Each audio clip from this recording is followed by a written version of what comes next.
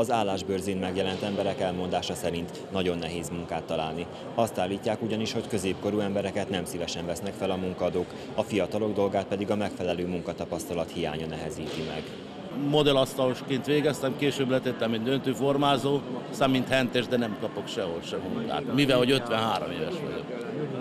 És itt most szétnézett, milyen lehetőségek hát most megpróbálom megint az öntödét, talán aztán megyek tovább. Én gyógytornász technikusi középiskolát fejeztem be, úgyhogy ezzel a szakmával is szeretnék foglalkozni, vagyis hát ezzel próbálnék elhelyezkedni, de nagyon nehéz már így évek óta próbálok vele, de nem igazán az egészségházba is, így, meg ilyen létesítményekben mindenhova beadtam a jelentkezésemet, de eddig nem jártam még sikerrel sajnos.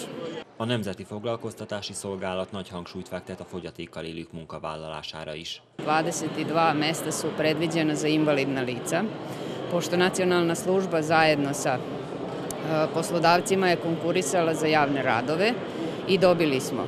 A Nemzeti Foglalkoztatási Szolgálat nyilvántartása szerint Ada községben mintegy 1300 munkanélküli volt a múlt hétig, amikor is a közmunkák révén 50 ember állt munkába.